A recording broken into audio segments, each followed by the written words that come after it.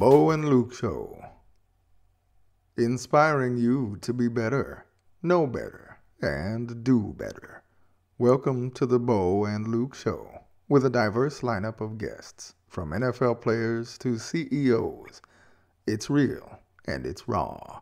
From the Hale Media Group, here are your hosts, Robert Bo Bravo and Luke Carignan. Bo and Luke Nation in studio with us today is KC Chhipwadia. He's the founder and CEO of Athlete Foundry. KC is a United States Navy captain, currently serving in the Navy Reserves, and incredibly, he was previously a NASA human space flight engineer and senior leader. I'm looking so forward to getting into that. Without question, he's had a had and continues to have an amazing professional career that even included being selected as a NASA astronaut candidate uh, interviewee uh, in 2012. Uh, that group included only 120 final interviewee candidates out of 6,500 applicants. That is an amazing statistics. That's just incredible. It's like, wow, never talked to anybody ever in my life uh, who had anything to do with the astronaut program. So this is going to be a fantastic podcast. We'll dive into all kinds of topics related to KC's career and really get into what he and his team at Athlete Foundry uh, are doing to help middle and high school athletes achieve their dreams. You know, Luke, I think KC has a lot in common uh, with what we're trying to do on this podcast and for the for the Bo and Luke Nation, where we want to help people be, know, and do better. Uh, I think he's doing. Sounds like he's doing just that, and he's spreading his uh, all that he has to share and all that he's done in his life, and he's giving that back uh, to our younger generations, which is just so incredibly powerful, uh, setting up the future. We need more people like KC. So, KC, welcome to the show. Tell us about yourself. Thanks, Bo. Luke, uh, such a uh, actual honor to be here. I love meeting other great human beings uh, that have aligned mission, which you've already explained is so well aligned with the podcast and both of you gentlemen. So thanks for being, thanks for allowing me to be here and share a little bit of my story. Uh, looking forward to a great discussion that, that's going to cover a good spectrum of NASA, Navy stuff, and, and Athlete Foundry stuff. So, with that, um, love to get started. Awesome. Awesome. Yeah, let's jump right in. I don't even know where to jump in with this case. I mean, you are just, uh, by the way, just I mean, like a fantastic human being from your background here. Um, where do we start on? I, I guess just this, you know, the mission of KC. Like, what, what's what's the uh, the genesis of it all? I, I guess laid out for us. Yeah, thanks. Good question. I I uh, I had to find that you know I had to struggle with that myself for years. I'm gonna, if I can, I'd like to tell you about how I got to Athlete Foundry. I think that'll help explain the why. You know, I yeah, was really absolutely. in search of that why. Um, so bear with me for a bit in this story. And uh, uh, I never thought I'd be an entrepreneur in my life. I had to connect three dots in my head that got me to Athlete Foundry. Um, and the first dot came from how to channel anger uh, and frustration at a, a, something that I discovered was painfully broken. And since I was six years old, my dream was to be a United States astronaut, as you alluded to in the opening. And believe it or not, you know, many kids, millions of kids have that dream. They all change uh, month after month. I stuck to it. I'm, I'm a hard-headed guy. It may not be the the sharpest tool in the shed, but I'm I'm hard-headed and stubborn. So I stuck with that dream uh, for decades. I did research. I, I, I did as much as I did. I every thought process, action, and decision in my life was how do I get from here to be an astronaut? There was no roadmap, no help, no insights. And as I did more research, I just started to learn that there was a lot of uh, lack of transparency. I couldn't figure this whole really mysterious puzzle out, and it was frustrating for me. Uh, and and eventually, someone said, "Hey, KC, you know what? You want to be an astronaut? Go work at NASA. That makes sense. In fact, not just any NASA, but go to the one where the astronauts are headquartered in Houston." I said, "Wow, that makes sense. Let me go." So I had the, the privilege to be there for, for 20 years. I supported 50 space shuttle missions. I was part of the uh, what I call the unfortunate honor to be part of the Columbia accident investigation team in 2003 when we lost the uh, the crew in the shuttle on the way home. Humbling yeah. experiences for sure. Um, and I I have friends that are astronauts still, and I asked them, hey, please give me some insights. Uh, just give me a little tip, you know. And they would all say, KC, I have no idea. And I thought, you know, they're just being jerks. Uh, why aren't they telling me? And turns out that they were right. Um, that in fact it's counterintuitive. If someone asked me today, if they wanted to be an astronaut, should they go work at NASA? And I would say absolutely not. That's the last place to do, and it's unfortunate. It really is unfortunate, uh, and I'll explain why that why I get there. So I kept trying and trying and trying, and every couple years they take applicants. So uh, the other half of my story, of course, is that I'm in the military as well, active in reserve, both 20 now 21 years, um, and I had a couple ground deployments, Iraq and Afghanistan. And the Iraq deployment really what fundamentally changed the course of my life and derailed what I thought was being an astronaut, and that was my life's purpose uh, to make impact to kids, uh, which I've always enjoyed to do. Uh, so I continued to apply, had great experiences, uh, tough ones. Uh, had several times where I never thought I'd come home. Uh, fortunate to come home, and, and several of my brothers and sisters did not. But that made me self-reflect a lot. And for the first time, I had a doubt in my head. Maybe astronaut wasn't my journey. So a year later, uh, I got redeployed to Afghanistan, and halfway through that deployment, I got this email of a lifetime, uh, which would have been a phone call if I was in the U.S. It said, "You made it to the final rounds of interviewees of 6,500 applicants. Get your butt back to Houston somehow for the interview." So not an easy thing, as you gentlemen might imagine, from oh, combat oh, yeah. to interview to combat. Sure. So a 10-day whirlwind journey. I was so grateful for my bosses in Afghanistan to let me go, which is not easy but I made it happen as a whole chapter of a book in the future. I got a chance to peek behind the curtain, the Wizard of Oz mentality, and, and really determine was my research valid or not. And I unfortunately discovered that it was valid, that there was a lot of inequities, uh, there were a lot of lack of transparency. It was just so outdated of a process. It hadn't changed in 40 years, four decades. Wow. HR process on steroids. Imagine HR. You can appreciate this. Any company organization doesn't change, the, evolve their HR in a year, let alone 40, you're irrelevant. You're done. The only place oh, you can do that is absolutely. the government and get away with it. So, so I did make it. I wouldn't be talking to you.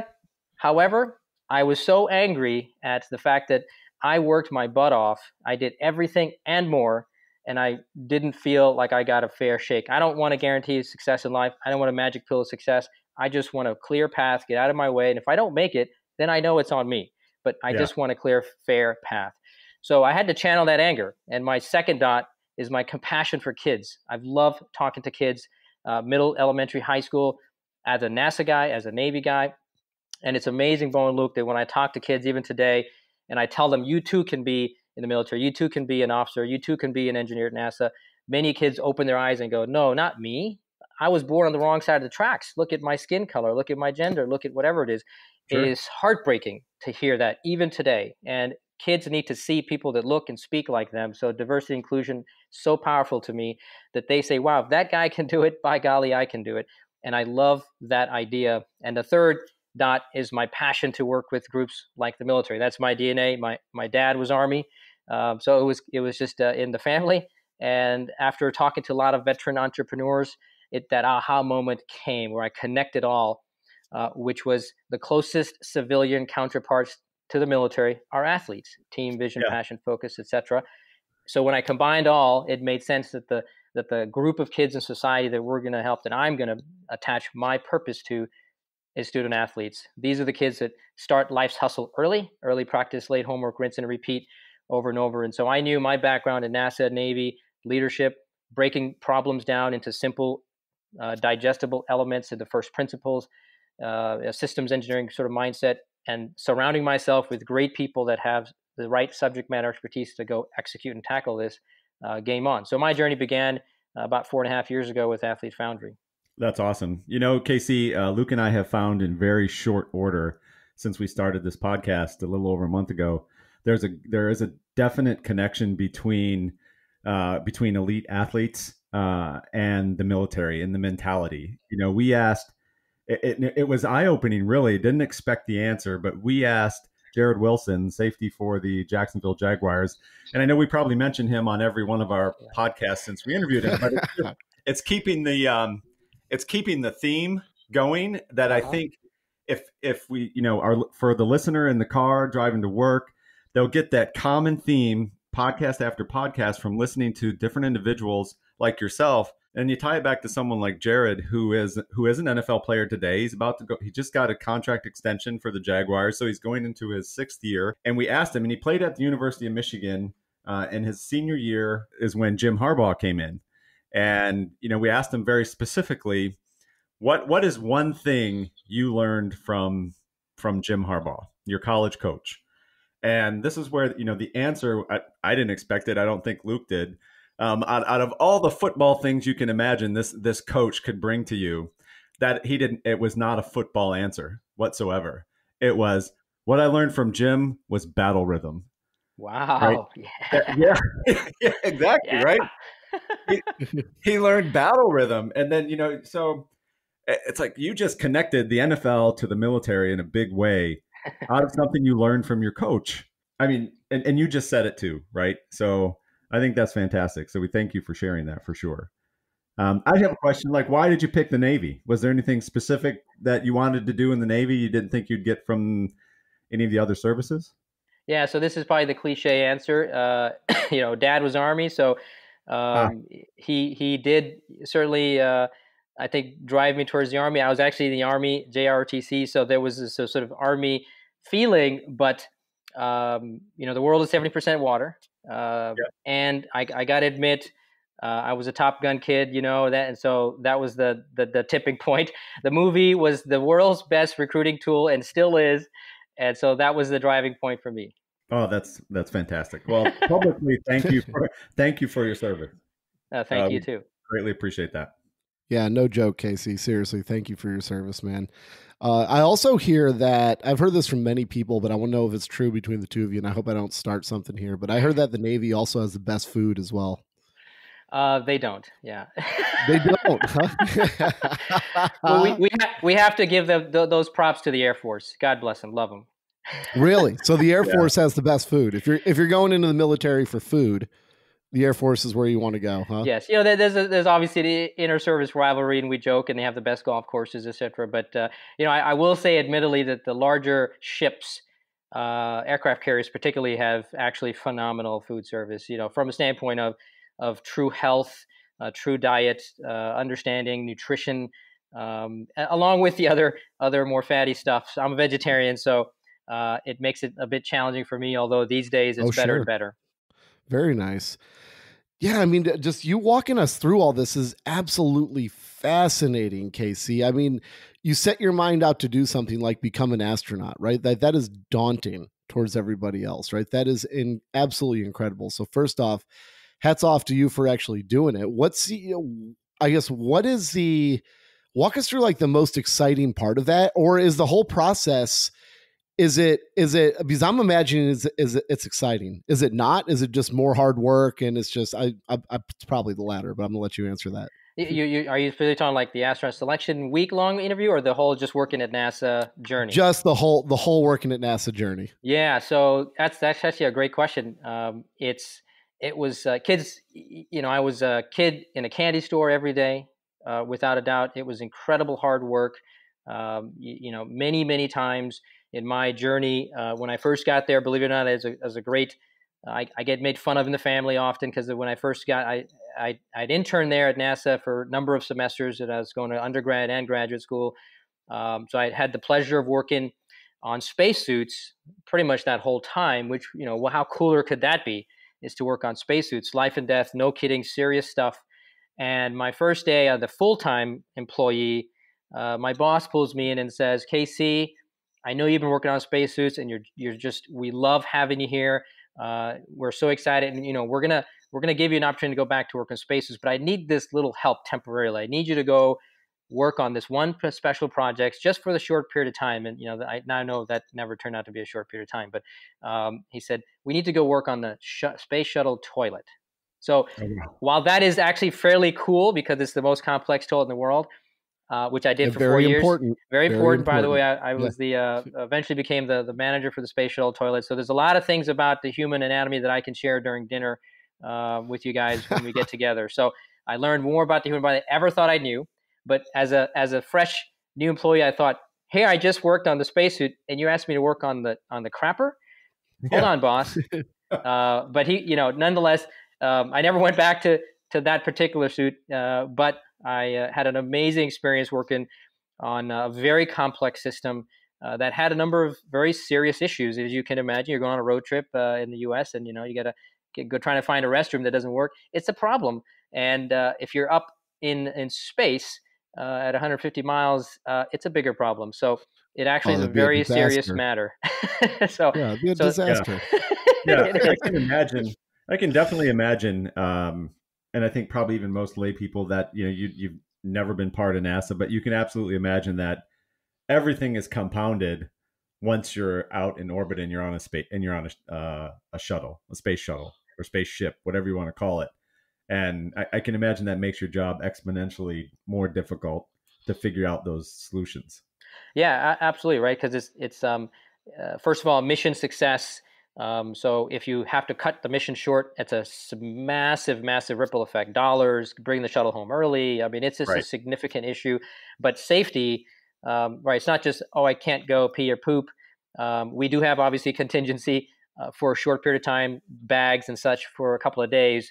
Um, but now you talk about safety and health in a closed environmental system that is designed to filter certain things, but uh, it can also be taxed significantly. And so the health and safety, which now then impact the pilot and co-pilot or the commander and pilot that have to land the shuttle.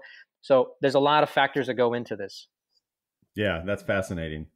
Um, so then when you got to the actual interview process and going, you know, to your shot at becoming an astronaut, what what what was that like?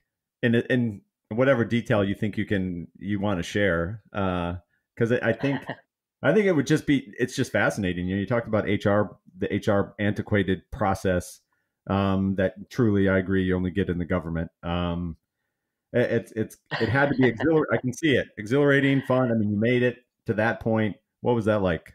Yeah, that, if I can if I could back up one second, then I'll connect the dot to that question, yeah. uh, Bo, which is um, I, won't bore you with all the other projects. You know, as I progressed through NASA and, and moved up the chain, if you will. Uh, but the the latter half of my uh, journey was being the manager for the uh, astronaut survival um, system, the launch suit, the orange pumpkin suit we call it. You'll see that a lot of pictures. Um, right. So that's a that's a launch and entry system. It has uh, uh, things associated with them to jump out of the space shuttle and entry if they need to jump in the water. They have life rafts, parachute systems. Um, all of that is part of the system that I had the fortunate to, to lead with the team. Why that's important is I took over that system um, literally a month before, uh, uh, sorry, two two to three months before the Columbia accident. Um, so here I am, wow. uh, taking over the system that's supposed to save their lives, and now it did not save their life. And the scenario, because there's a billion scenarios that are not survivable. Uh, right? right? We designed the system for this one little fraction. Um, after uh, Challenger, of course, so uh, it was because in Challenger wasn't there. Uh, but it still felt personal to everyone that why didn't our system save it? Why didn't it work? And it was a very, very somber, tough time psychologically for uh, everyone, of course, and all of NASA, but particularly those that that like this was our system, this was our suit. Why the hell did it not save them? Um, and it was never designed for that scenario, but nonetheless, um, through that ex- that uh, investigation um, process, the president uh, developed a presidential investigation team that tried to understand what happened with the whole process at NASA and the shuttle. Separate mm-hmm. from that was a smaller, tiny team of less than 10, actually less than five originally, that was in fact designed to look at the cockpit and the crew specifically to say this is an opportunity for us to learn. What did the astronauts what did they do? What what training did they kick into gear? Because we can learn from that. Even though they didn't make it did they go to evasive measures? Did they put the training into action and so we literally did a microsecond by microsecond scenario of of incident to to uh, death and essentially separation of of crew from the capsule, the capsule coming apart. We had to put all that together to understand what the crew went through. That was different than what the the big presidential team was doing at the big picture level. Obviously, a lot of experiences, um, connections with crew astronauts that were part of this team as well. Um, so a lot of emotions, uh, doing everything respectful, doing everything with tremendous, tremendous attention to detail beyond attention to detail. And there's a meth- there's a scientific method to, of course, do investigations like just like NTSB does. Right. Um, and there's going to be difference of opinions of how we execute that. I always execute my journey with uh, the intention to learn and be objective um, and be respectful uh, always but there's always going to be different opinions. And I had some uh, difference with uh, with some crew uh, astronauts um, uh, in, in a respectful way, of course, so we can continue to execute the mission. Fast forward to your question of the interview. Uh, that was that was in uh, 2003, right? About almost 10 years later.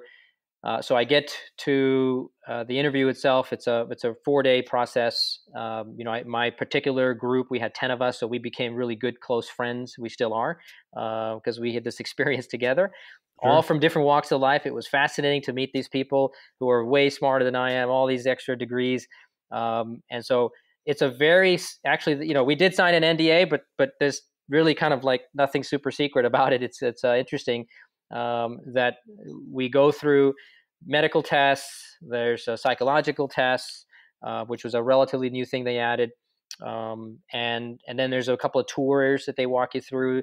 They give you time to meet with other astronauts who, obviously, as you know, any conversation is an interview every time, um, and so you have to be mindful of that when you talk to other astronauts because uh, they're kind of judging you as well.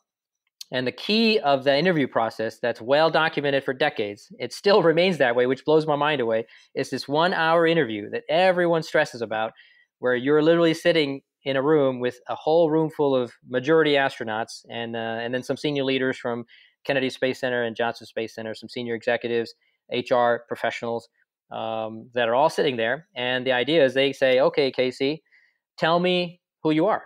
And they literally ask you no questions. And they and the idea is you have an hour to talk about who you are. You decide what you want to touch on what you don't want to touch on. So hopefully you don't spend 60 for 55 minutes on elementary school um, right. because it doesn't tell them anything. And you at the end if there's a little bit of time they may ask you some questions. But that's really it. So you know you really don't know what's important where do you want to touch how do you want to navigate this journey um, and I, I shared the story uh, of who i am I, I practice i prepared um, I prepared some some stories. You know, stories are resonating with people, so when you can share something through a story, it's more powerful. Um, I did. I felt I did. You know, personally, I felt I did awesome. yeah. uh, obviously, apparently, I didn't make it, so I did awesome. Uh, but at the end, it was interesting, and I never, I haven't shared this publicly, um, and I, and I, I obviously won't say names, but um, I think it's worth it because I'm so still um, angry, and can I say I'm happily angry? I guess I'm angry still at the process. That the question was interesting. I got done, and the first question I got was related to a disagreement from ten years ago. Really? Tell me how stupid that is. About wow. About and it was from the person that that wasn't the one I had disagreement, but the the yeah. fact of the matter is I have dedicated my life to human spaceflight and safety of crew and always launching them with safety. I had a yeah. seat at the table to determine a vote for launch, and I always voted with safety every single time. Um, and that wasn't necessarily congruent with with others um, who had kind of the go fever. I mean, everyone right. had good and well intentions, but the question came, and I knew exactly what it was connected to, and I thought, "You got to be kidding me! This is what you're asking me? from 10 years ago, a disagreement that I felt passionate about to do the right thing, that's yeah. what you're going to judge me on. Okay, I got it. Wow. So wow. that that was how I ended.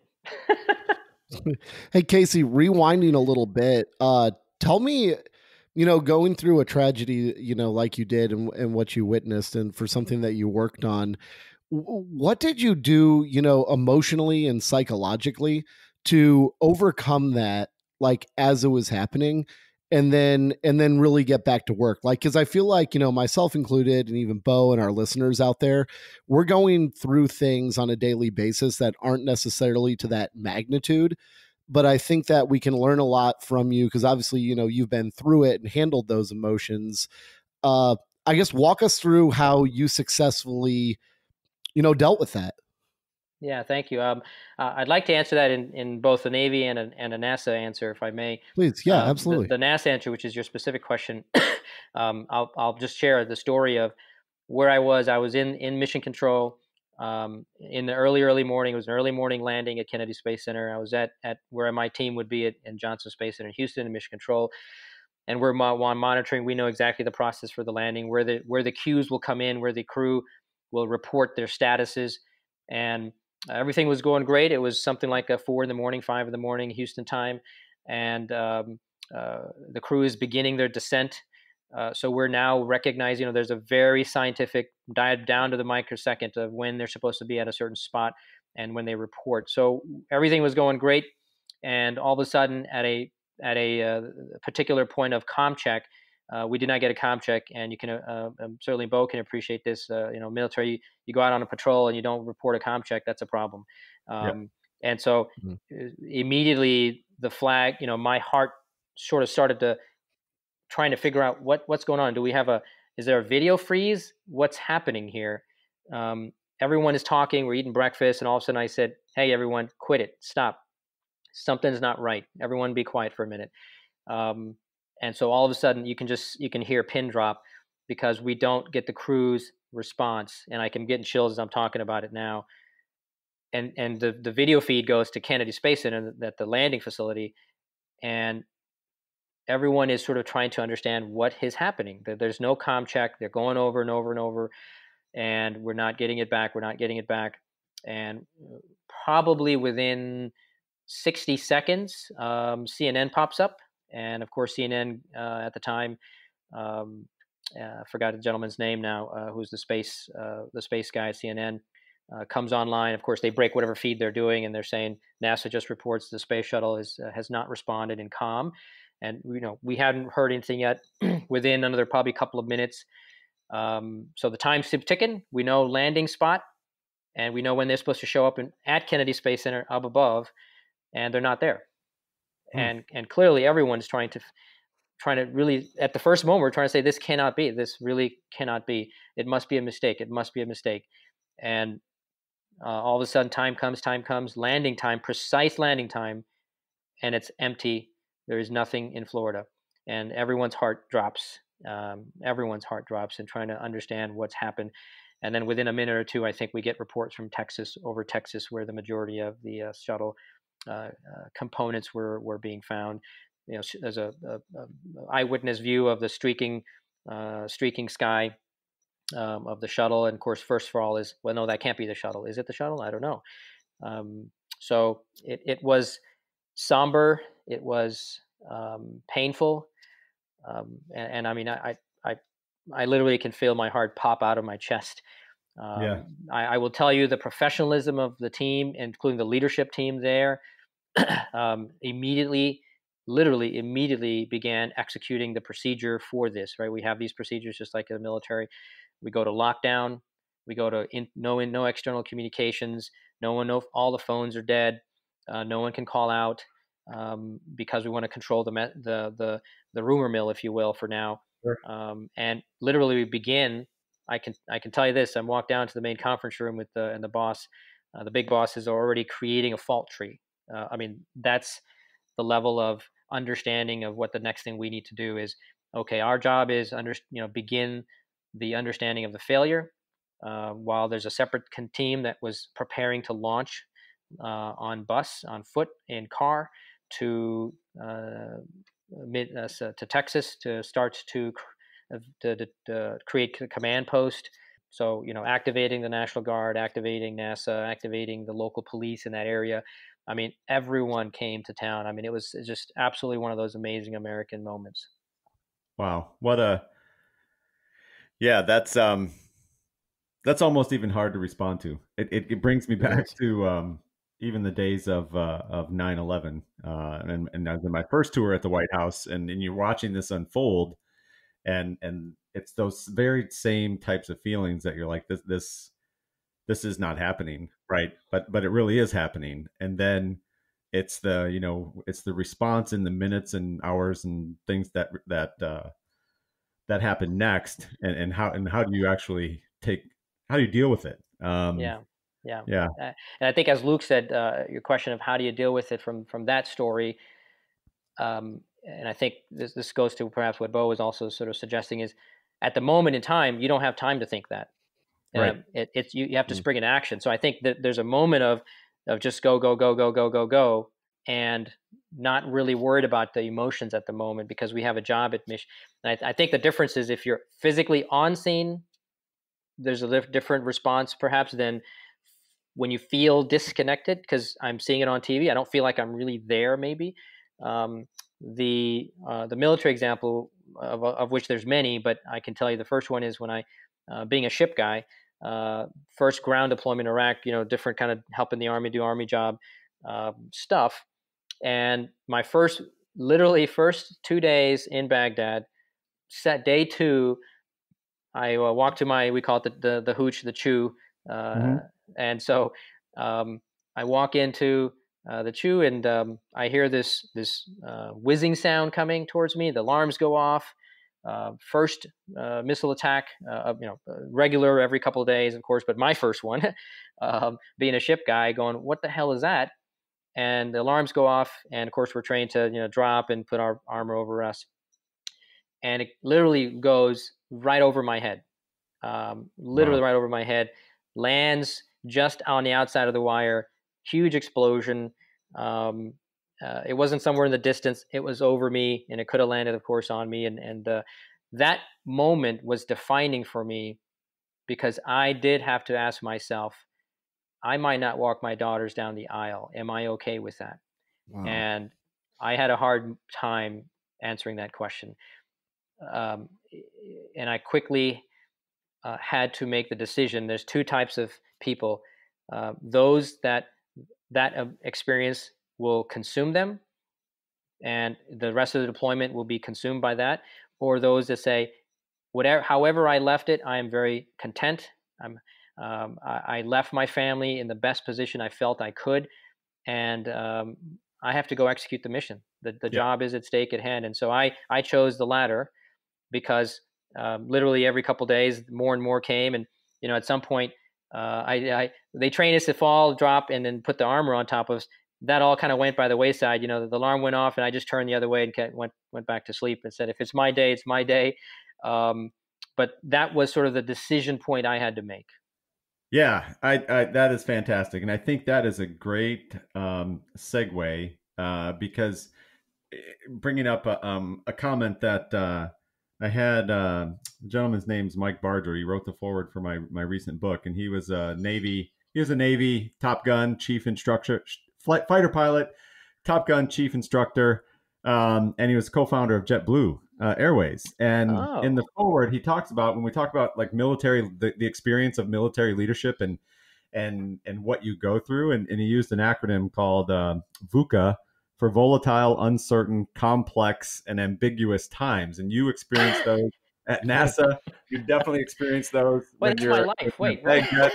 yeah, it's life but but you either but you choose and you you just explained it you have to choose you make a choice right on how you're going to deal with that so leading into um, your leadership philosophy that you have uh, posted um, very very uh, I, I, find a, a lot of uh, value in it. And it's lead by example from the front with ethics integrity purpose and impact. Taking your your background uh, from the Navy and all of your experiences there and with NASA, and your obviously your leadership philosophy how are you taking that into athlete foundry as an entrepreneur? How is that impacting your journey over the last four years since you've founded um, your company? Um, and how how are you using that internally with every whether it's internal or external vendors that you work with how are you using those experiences to to deal with what you're dealing with now and, and it's very it's not military guys but it's it's still elite young athletes their parents uh, I, I, would imagine I would imagine the complexities are are there. Um, how how do you respond to that? Yeah, thanks, Bo. And I think the uh, there's an external factor and an internal factor. The the external, uh, you know, we're a uh, for, for the time being, at least right now, it'll eventually evolve certainly, but we're a SaaS based company, so software as a service, so mm-hmm. subscription based. Mm-hmm. So right at the moment, at least based on the stage of our company, very little interaction um, personal interaction with our customers. But the key there is um, to your the answer to your question more is I think more internally facing, but externally is to ensure that we come across professional, we come across uh, not like a fly by night operation, which we're not. So how do I communicate our our um, strong position as a company to those that are interested to learn? In these days, mm-hmm. unfortunately, um, recently more we have to combat more of fake scams uh, fishy stuff going on is it real is it not real are these guys faking it? Um, it it's hard for people everyone is coming at it with such a skeptical eye of anything and until athlete foundry truly has brand recognition trust and credibility is an ongoing development process and i have how do i build trust and credibility because people's and children's, their families' lives, or future is what we're selling uh, on yeah. the platform. So how it's not just selling a cup or a mug, and if they say I don't like it, I'll just return it. It's a different transaction. It's a it's a very tough challenge to do, and I felt that the important thing to do is I what I can start with is present a very professional front, um, and in our website you can you can certainly see that I have added a CEO pledge, and that's not a common thing. And in that pledge, I, I make it very clear to them, and they can read my bio and everything, uh, sure. uh, and our teams to know that I am a real, I'm, I'm legit, um, and I'm, I, the best I can do is live my life the way that I uh, live my life uh, in uniform as well. Uh, they can be assured of that. Um, internally, it's even probably more important right now because uh, as a small, lean team, how do I ensure that I execute speed uh, while maintaining um, professionalism, coordination, diversity, um, and I love one of the, the, one of the great books recently, uh, what a couple years ago was Team of Teams. Um, certainly yeah. from McChrystal, great book. Love the stories in that book. Uh, very true, um, and that's just who I am. Even for, from NASA, it's always about ensuring that uh, we get everyone's insights and inputs. They see that I behave a certain way, and that I hold them accountable. Um, and and I will, and I do hold everyone accountable. I have consistency in my processes internally in fact, the Athlete Foundry internally is a design of civilian and military terminology. In fact, we have battle rhythm in our company yeah. as well. And so uh, the team knows it. The team knows lines of effort, LOE. They know um, AOR. Um, so there's certain terminologies that are internal to our team, and I hold everyone accountable, and they see that I hold myself uh, accountable, and I'm not ashamed of of them calling me out. Um, and I sure. ask them to call me out if they need to. So um, it's just how we present ourselves. That's great. Hey KC, from looking at uh, your site here as well with Athlete Foundry, which by the way, I absolutely love what you're doing here. Thank you. Uh, w- one thing that jumped out at me that that I'd love for you to touch on is that when you're talking about bringing up student athletes, especially from the parent parental side of things, when you look at you know how your how your company is doing this, what I'm seeing is and tell me if I'm wrong, is like only one third of the equation here is athletic. You have the academic and then the human side that goes into it as well. And it looks like you're putting just as much weight on that. Do you think that in our society right now, parents are putting way too much emphasis on the physical side and then ignoring those other sides? And I guess what can our listeners do to be, you know, really mindful of that and to, um, you know set up our kids for success even if the physical side doesn't work out mm.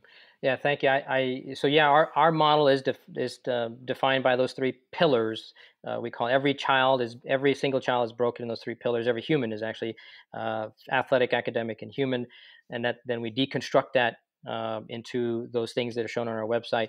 Um, so I, I should say I, I should say first what we do is we give parents and student athletes a 6th through 12th grade roadmap that lets them build what we call their most comprehensive athumedemic resume, which is athletic, human, and academic all combined in a unified model that does three things. One, increase their odds uh, to be a student athlete. Uh, two, improve their college financial assistance potential. When a college sees that you focus on all three of your elements, all of you, they actually will do their very best to give you the best financial package because they have a lot of combinations of things they can put together from state, local, federal level. Um, and they want to see that if you bring the full package, they will actually give you the best financial uh, support that they can. And the third, and more importantly, helping them improve their success for life after sports. Uh, they will eventually sports will end. How do I prepare you to be a productive citizen in society and strengthen the fabric of America? And that doesn't come, which unfortunately the preponderance, preponderance of thought is, I'll kick the can down the road. I'll wait until I get there the common term as humans we are all typically designed to be lazy it takes energy to move forward so we we uh, we say oh I, I know i've got to do something i'll worry about it when i graduate i'll worry about when i get to senior year i'll worry about when i get to uh, a year before graduating college um, that's not the time that's when unfortunately most people do wait and so many student athletes who have tremendous potential and, and energy to give society end to college and say you know what? I really didn't want to major in that thing. I just did it because I had to play there or because I kind of coach got hinted me. There's a lot of that, and they don't they aren't excited. They go back to their hometown, and they don't really pursue the rest of their vision and, and energy. Um, unfortunately, to give back to society. So the idea is, let's have a balanced approach that says You need to have an athletic passion. I'm not arguing that, but you also can have a non-athletic passion that complements this athletic passion at the same time. Is it hard? Yes. Is it possible? Absolutely. And that's what we aim to do is to help step back. We don't replace the coach or the teacher or anyone in the ecosystem that helps you, but at the center of our business model is the family, is the parent, student, athlete, and we step back and help you unify this journey. Think of it as sort of a mission control for the parents. Wow. So is it harder to get through to the parents than it is to the kids? It is, yes, absolutely. Uh, and and we're, we're trying to crack a lot of paradigms and it's hard as you know behavioral sure. change is hard and so parents say um, great KC i get it i love that um, and and uh, either they're going to say rock on let's go game on I'm, I'm i'm i'm engaged with the platform or hey i already know what i'm doing um, or the most common one of course is my coach is going to help me and it's a and and there are hundreds of thousands of coaches across america they're all designed differently and i've heard i've had too many stories in our research that the, the the, the coaches are just not they mean well, but they're just not the best coach um, and a holistic approach. They're not the right people, and it's really just wrong to office to put the burden on the coach's shoulder. That's the parent's job, not the coach's job. So it it is hard to get through them, uh, but I'm determined, and I know we will. That's amazing. It is amazing. I think it, it, it is so tied. And I think this is one of the things that fascinated me uh, about your story and what you're doing with Athlete Foundry uh, we've you know we've launched um, we've launched a company, Hale Ventures and Consulting, uh, with with our NFL agent um, uh, contact or, or, or friend in our network. And one of the components of that is is the second it's second careers for athletes. Uh, yes. But yes. what you're doing, if if you can get them to think about that, and that's this component of Athlete Foundry in your software, um, where you're talking about you know there's life there's there's absolutely life after you even if you if you're one of the fortunate ones to make it to the professional level um, there's that career uh, for the most part is very short lived um, for most professional athletes it's a few years depending on the sport uh, there's got to be something after that so if, if they've had that education through through this type of platform you know that all of this and the academics matter just as much as the uh, the ath- the athletics matter, um, that that could be pretty powerful. Uh, it's a powerful journey to to set them on, you know, at a young age. So it's it's not new to them, and then they have some type of future, and they have goals, and they they you know even if that's going back to school because you didn't get the degree you wanted, um, because the school only allowed you to do certain things based upon your your training schedule for your sport. you, you know the, the sooner they get educated on that and, and motivated about that, the better. So I, I think it's fantastic what you're doing. Yeah, excuse me, absolutely, Bo. And I think that the you know what we want to do is, is about just which is bread and butter to the military is planning, the classic term of of good planning. So we everything we do in the platform um, in terms of solution that we provide, data we provide is always what's the end state, and then I, re- I we break it down and we reverse plan it back to sixth grade, and we integrate that right into your roadmap. So it's all small, bite-sized, executable steps that yeah. are manageable for the parents and student athletes. And ideas early on, sixth grade to seventh or eighth, or maybe even ninth, right? The parents are a little bit more engaged in the platform, and then there's just sort of switch over where the student athlete sort of becomes more of the engagement person in the platform.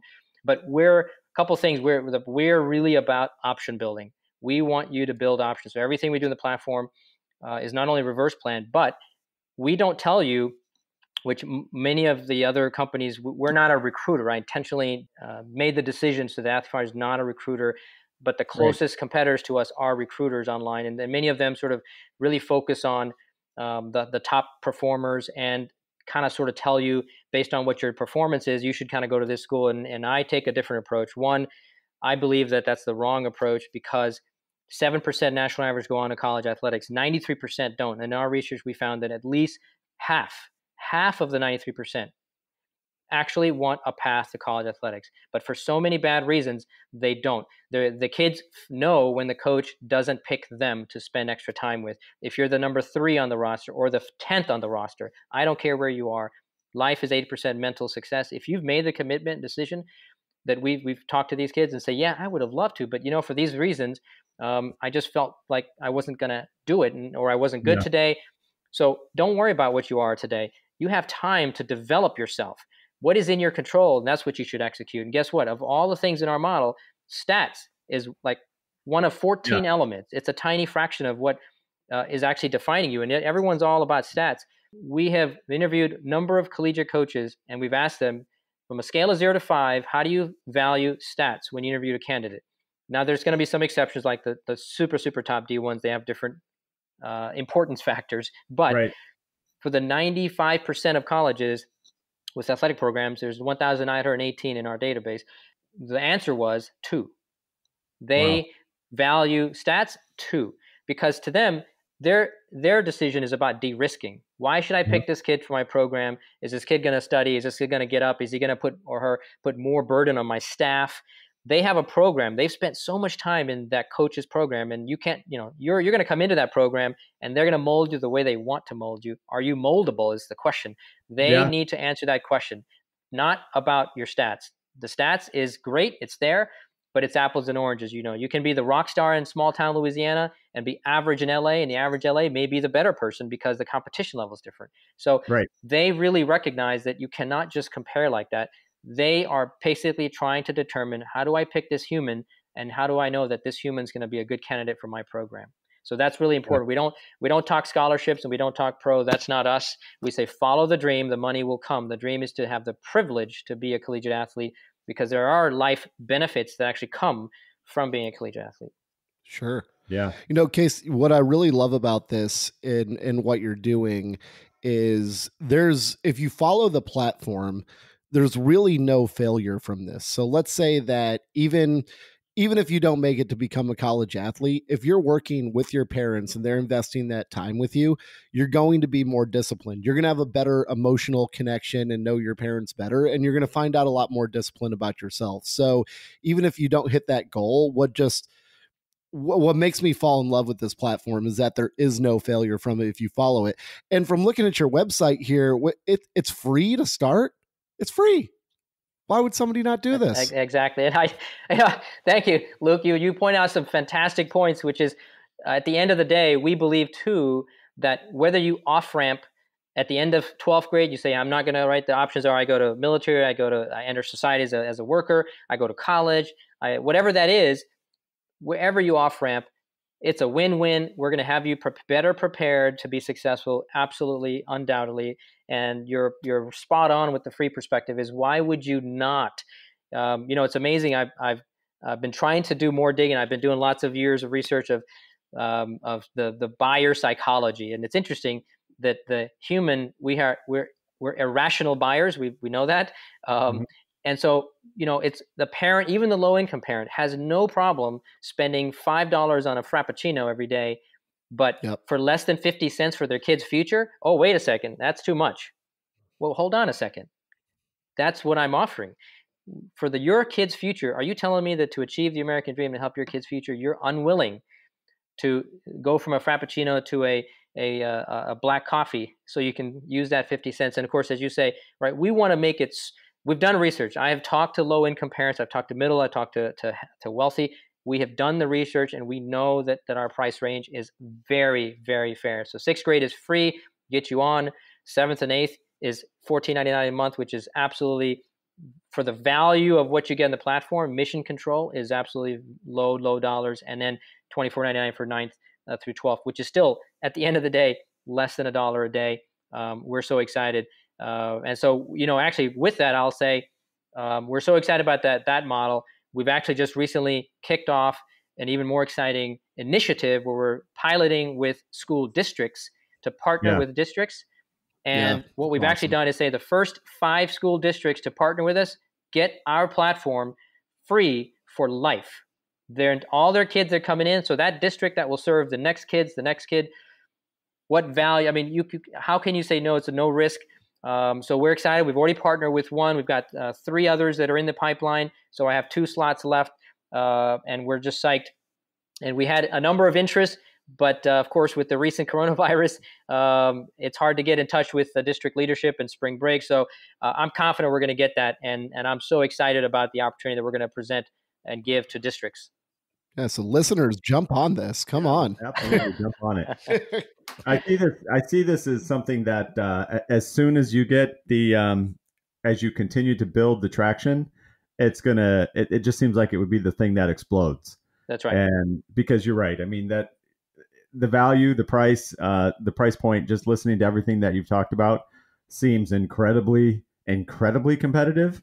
Uh, so it, it's almost like a no brainer. And I, I, even seen this have, having a daughter that went through the whole West Point um, mm. application process and, and, you know, everything that our service academies look for in, in candidates, uh, aside from, you know, and they want to see people who were, who were athletes and the captain on their sports teams and creating that whole candidate kind of whole person concept where, you know, you got that all documented from the, I mean, what you're offering is saying you, you document things like that through this platform from the time you were in sixth grade, right? That's so right. absolutely, absolutely, yeah. and, and, we we let you. There's the obviously the, we can get into a lot of stuff of the platform. There's a lot oh, of yeah. uh, mission control stuff. It really gets into that allows you to tell that. And I think uh, one thing that that a uh, number of things that come to mind, if I can share, is the what no there's no other platform in in our research that does exactly what we do we sit at the nexus of athletic and education in the center and there's nothing that really does what we do in, in a new way uh, in, a, in an interesting way. So what we found is,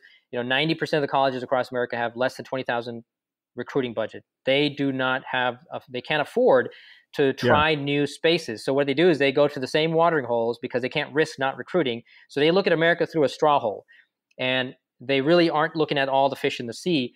Well, guess what?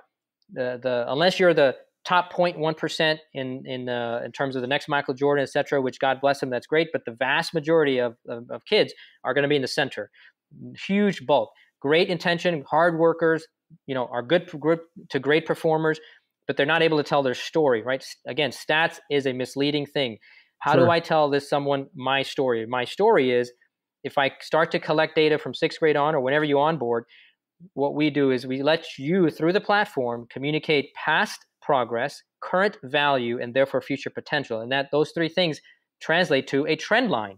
And what we've talked to yeah. collegiate coaches, and they say, look, if a kid comes to me and says, Coach, I may not be the number one, number two, number three, number four on my team, but man, look at where I came from.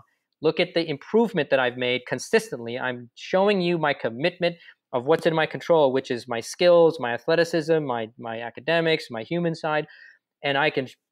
And with we have a special um, uh, registration element with collegiate coaches and their staff is that they actually get an extra poke uh, uh, view into the kid's account with the parent approval is they actually get a chance to see the history. We let them poke into the history and now a coach can actually see that commitment and say yes i can see the progress. I can work with you. And every coach we've talked to interviewed said i will take that all day long over the rock star you're blowing my mind right now, KC. Yeah. Like seriously, it's uh capturing that human, the human element data that you're providing to organizations out there and programs is I, I probably the missing link that they haven't had in in history. Yeah. Right. Like this, it's like leave it to a NASA guy to figure this out. Yeah. He's taking because because. To, uh, go ahead. Oh, because I was gonna say I was gonna say because even me, again, like I said, I'm not the sharpest tool in the shed, but but I, I can if I can communicate to someone, hey man, look, I, I've been at this for a while. I'm a hard worker. I can show it to you.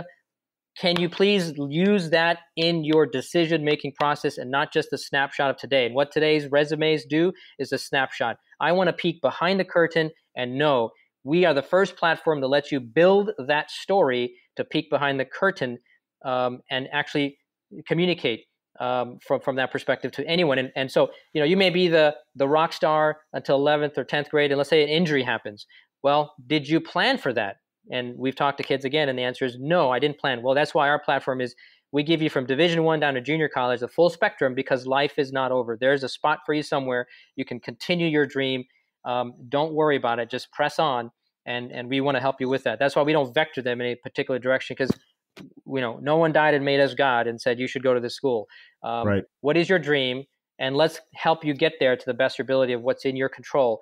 And what's in your control for example athletically is your ability to create your athletic ability your actual skills. Stats is not your control you may not play a game etc but man skills i can work on that all day long and improve myself. Um, and so how do we communicate that piece? And that's the that's the piece that i shared with you is that we have this unique view if you're registered at the athletic department staff uh, to actually look back and truly understand this individual's commitment across those three pillars. Yeah, I think that's fascinating. Luke Luke KC is taking me back to 14 years old. yes. I, I wish I'd had Athlete Foundry and all of KC's wisdom then, because that you know, it's funny when you can take something and then really make it personal. That mm. that you know that that exact thing happened to me. Right. It was baseball, and I had started baseball when I was five years old, little league, and um, all the way through eighth grade, and I, I had I had transitioned through multiple positions, but then it was pitching. And by the time I was like 12, 13 years old, I was pitching no hitters. And then wow. and I just loved baseball. And then we got to high school, and that was where two towns came together. Right. So now you have kids that have been competing against right. each other in a different league format. But now at high school, you're all competing, you're you're on the same, you're competing for the same positions on the same team. And the coach, the coach was from the the the district where I competed against. And when the end of the tryouts hmm. um, ended and he made his cuts, it was so obvious. Like 95% of the kids that made the team were from the district he, the kids he knew, and they were from his district. Hmm. And yeah, and and so uh, honestly, that was it for me. I never played baseball again. I'm like, wow, I really? don't have what it. Yeah, and and I didn't have anybody saying, you know what, keep going, keep playing, keep. Mm. You know, this is just one season. Keep training all of those types of things because there's a place for you. You have the skills. Just keep at it. Next year could be different, right? That's right. That's yeah. So right. that's absolutely right. You know, that happens to kids keeps happening and happening hey, to. Hey, people. you know what, Luke? Uh, sorry, Bo. Your story is actually spread across America. Spread across yeah. America. Absolutely is. I had a kid last year. I interviewed. Uh, he's Houston, plays tennis, loves tennis and uh, unfortunately, you know, he wasn't getting the attention, etc. He wasn't the number one or two, and he knew that. And I, uh, he shared his stu- tennis story. And I said, you know, do, do you want to play in college? He said, yeah, but but you know, X Y Z reasons, uh, I'm not playing because I didn't make it to the top two. And so I said, well, so you're not playing. There's many other things that you still need to do and skills and practice on your own, like take charge. Yeah. Well, he did. He doesn't know. He doesn't know, um, and he gave it up. It just broke my heart um, it really yeah, did. Like, what are you talking about, man? So it's just unfortunate, and, and, so we really do want to make sure that they're empowered and they know that that there's more in their control than they think. Um, absolutely, and so.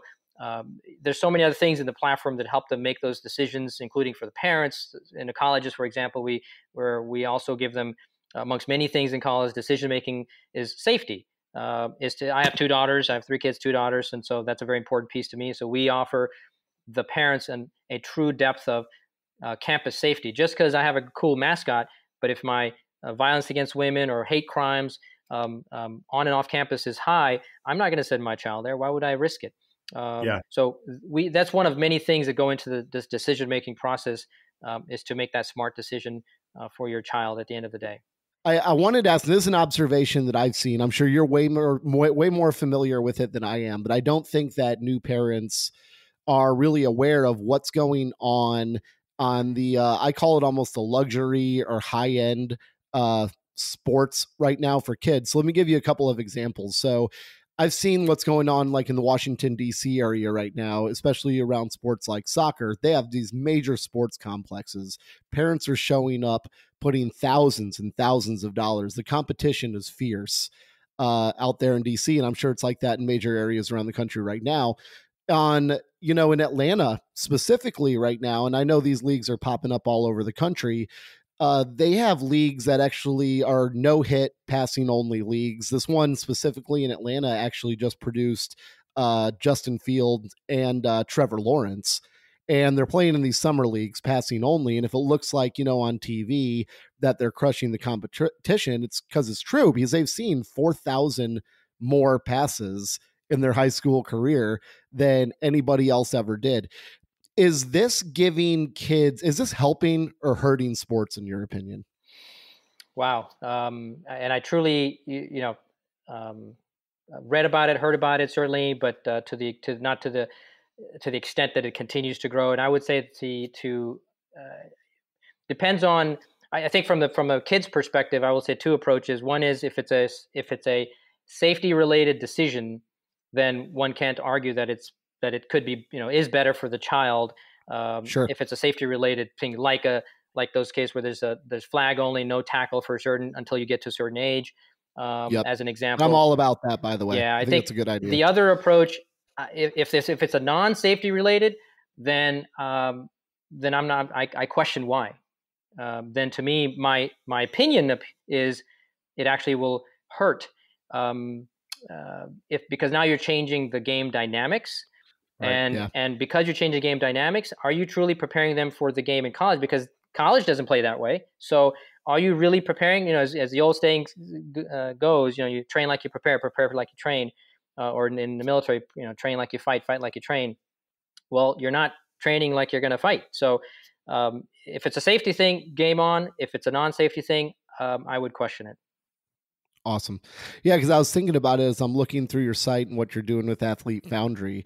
Uh, you know, and I kept getting locked on like, why wouldn't somebody pay that price? Right. And then my mind immediately went over to, well, wait a minute. Like in every major city across the country, they're paying sometimes tens of thousands of dollars a year Mm, yeah. just to support their children through athletics right. right now. But are they doing it the correct way? Are they getting the best result for No. that? So I'll tell you this: it's, it's an interesting zinger, I think, and I'm, I'm gonna, you know, uh, I'm gonna say it. and I believe it because I say it. So, which is, which yes. is, you know, that's great. I nothing against those parents. I, you know, great for them that they're able to do that. But guess what? That truly still is a small fraction of the population of kids across America. There's 17 million kids that play competitive sports between ages of 11 and 18 across America. That's sixth through 12th grade. 17 million. 60% national average play uh, um, uh, of, of the sorry that's 17 million which is 60% of the, all the kids so national average is 60% that play competitive sports that's the 17 million uh, that play um, the uh, there's so many kids and i've driven across america that are just in these small towns and pockets that are stuck that feel like hey that kid in dc that had that stadium that had the, the program you just mentioned luke boy I, there's no way i could compete against that. There's just absolutely no way. And nothing out there is going to be able to communicate to the coach a coach that i'm interested that i too can work hard. I too can do these things. I'm just not given the resources. That what you mentioned is in fact documented in so many articles. Time magazine last year had a the, the gap between the have and have nots in youth athletics is widening and widening and widening. It the playing field is not level. My vision and our purpose at athlete foundry is to level that playing field. That says you can be a small kid in louisiana and guess what? By you knowing there's more in your control than just the stat thing will actually let you outcompete the the the person that's in DC that has that privilege, that has that stadium, that has that uh, that uh, incredible stat because it doesn't matter. KC, can you? I, I'm fascinated by you, by the way, but can you? I, I want you to get up on a soapbox for a little bit, and for our listeners, just address our listeners and talk a little bit about your battle rhythm and what they can do like right now like right when they stop listening or while they're listening what can they start doing in their daily routine their own battle rhythm to to be better and do better now for themselves and their i'm just going to let you stand and take it wherever you want to go but how can we be better Ooh, I love that. Uh, the uh, I have a personal battle rhythm, my my company battle rhythm, and the, my life battle rhythm, and my family one. And of course, they probably would like to not have a family battle rhythm, but they do. Um, but but I think first step I would uh, suggest to those um, is to truly think about creating a battle rhythm for themselves, even though they may think they have one. Is to really reflect back and say, do I truly have one? Meaning, yes, I go to I get up, I go to work, I come home, but then what? Then what? Then when the real battle rhythm is really a test um, is what do I do when I come home? Um, is is that routine that I have um, that integrates a little bit of uh, me time, a little bit of self uh, growth mindset. Um, where am I learning so I'm not stale at my own uh, at my own growth as a parent? Um, spending time with the with the kids. I know it's challenge. It is tough. They have their own things going on. They have homework, uh, but I think the first is really understanding uh, the battle rhythm and creating one for themselves uh, is absolutely the first thing to do, and being consistent with executing that and identifying at least one thing. As uh, I read somewhere um, in a book that says, at least have one thing that you put per day that you're going to mark off your to-do list. One thing, and focus on nothing but that one thing for that moment of time. Don't get distractions. And if you do that one thing, you need to be comfortable telling yourself, I had a great day. Now, keep going on, but be very satisfied that I did that one thing. So have a battle rhythm, identify every, one thing per day that you can knock off and go do that and feel, um, uh, tell yourself to celebrate that one thing and then move forward. That's an amazing thing to do. KC. I mean, we're we're so reactive nowadays with just letting our days be controlled by email and other people's priorities, you know, and just we hear it on almost every show. So to tell yourself that you had a great day after accomplishing that one thing. And now I'm as you're mentioning this, I'm just thinking other things that I could be very grateful for, very happy with that I accomplished. But I think we're uh, we're sometimes too hard on ourselves and trying to accomplish way too much, and then not self reflecting on that win. Absolutely. And my my one thing for today, Saturday, 14 March, my grateful thing is to have a successful podcast with Bo and Luke, and I can mark that off my list. Hey, that that is a great one thing. Uh, I'll, I'll I'll take that and I'll copy that. It's a great podcast with KC Chhipwadia and, and Luke. I, I think we've accomplished that. I agree. I totally agree. Guys, this is amazing. Yeah. I, I, let me ask one more thing, KC. Have you ever, you're like, first of all, you're one of the most humble and selfless men that I've ever talked to, not even men, man or woman, you know, just so selfless and humble. Name one thing that you consistently just take time for for yourself. What do you do for KC? Because this entire time, we've just been, it blows my mind. Through your entire life, you're just helping other people and you're not stopping. What do you do for you? Ooh, uh, I feel like I'm going to be a hypocrite on that one. Um, is uh, not enough. Um, uh, uh I, I, do tend to uh, self-reflect a lot. I, I, I try to uh, try to tell myself I need to stop, breathe for a minute. But but there's I'm on this crusade that no every second counts and matters, particularly as an early stage of a company. And um, admittedly, my family does tend to uh, get the short change a lot uh, that I do feel guilty for, um, and it's it's um, emotionally draining. It really is. I, I um, they owe they they deserve more. They're just amazing supporters, um, uh, and so I, I I like to say that I for now I take that question and I funnel that answer to celebrate um, the one person that I would not be doing this without uh, her supporters is my bride and uh, you know military spouses. I say um, are the toughest substance on earth. Our military spouses and uh, particularly those not only military but startup. Without a doubt, she is my rock, and uh, without uh, her encouragement, picking me up when I need to be picked up, um, is is invaluable. Invaluable. So I I take that, and uh, right now I am I am loaning that and giving it to her. Awesome. So here's a huge shout out to KC's bride. Thank you for what you do. Uh, I, I, just can't say that enough because it, it means the world. And through that support, um, that support alone is going to lead to the changing of a lot of lives for the better. Thank you so much. So, KC, do you have um, do you have marketing materials you can share with us? Luke and I would love to uh, to be able to promote Athlete Foundry however we can uh, and share that message uh, to, to help your journey. If you have it, share it with us, folks. Uh, if you want to learn about Athlete Foundry directly, you can go to athletefoundry.com. Um, I did notice you also have an app. Um, so I have an Android. Is your app available on Apple devices as well? Absolutely. So uh, we do. Obviously, we have a web, we have an iOS and an Android. Um, we are fully functional on, on the web. Is has all the fantastic features. You can create an account. Uh, actually, create an account on the mobile as well.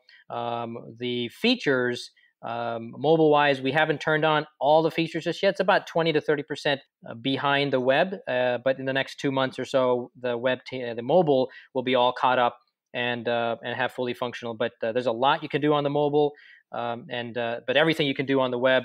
And in just a few months' time, we'll be all caught up on on the mobile itself. So my my as a lean team, it is marketing material wise, all I can share, and I appreciate both of your willingness to share and spread the the great words of Athlete Foundry is to visit our website, of course, athletefoundry.com, and really check out the story, the powerful video that it's at the front landing page uh, that really goes to communicate our passion, which is the family unit and empowering the moms and dads all across America and their student athletes um, to help achieve that American dream. Um, yeah. And then our story, you know, you go down to our the plan section. If you click on the plan, it goes over our our model. Um, we divine our de- device, design our model across those three pillars and questions. And if you look at those questions across each of those ideas, by the time I get to 12th grade, how do I position my child to answer those questions in the best way for him or her? Well, that takes time. It's not overnight. So that's the reverse plan. And a parent, a coach, a school administrator, no one can argue those questions. Those are absolutely right on questions to say, how do I produce a good child, young adult that is ready to excel and succeed in athletics and beyond? Um, yeah. And so no one can argue that. That, that that's just that those are those are bulletproof in our opinion. Awesome. Truly, yeah, I love the video. I think it's very eye catching when you open up your page. Yeah, no, it is. It's fantastic. You don't you don't see that a lot, but it's truly, um, yeah, it gets you. Absolutely you know, which is why we have a great uh, uh, uh, brand ambassador. If you look at our brand ambassadors, uh, former NFL player Marques Ogden, who's an absolutely uh, amazing, humble human being, um, has a great story by himself in terms of adversity. Uh, we just brought on Zara Northover, who is an Olympian female rock star of a, of a human being. Um, and we actually have a, a, few more that are in the pipeline that I uh, hope to announce in the next one to two months. I'm really, really excited about a few more that are in the pipeline, some new brand ambassadors about using their voice, their story to truly lift and inspire kids to achieve yeah. more in life. Awesome. Thank you. Awesome cause, awesome company, awesome person, KC. Good Lord. Yeah. Thank you, gentlemen. Yeah. Well, Luke, I think um, I think it's been another great podcast. Uh, it's been amazing for sure, without a doubt. Uh, KC, thank you, thank you, thank you so much for spending your Saturday morning with us. And uh, hey, Luke, I think that's a wrap.